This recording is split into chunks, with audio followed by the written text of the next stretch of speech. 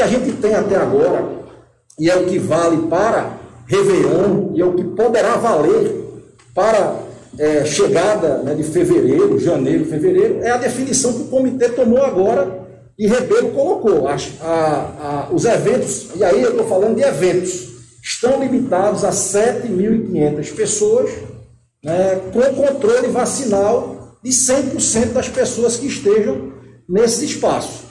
Então, essa é a definição e até onde nós podemos avançar hoje. Né? Muito provavelmente, a definição sobre carnaval não será tomada esse ano. Nós vamos observar né, o cenário epidemiológico para a tomada de decisão. Nós não temos pressa para fazer isso.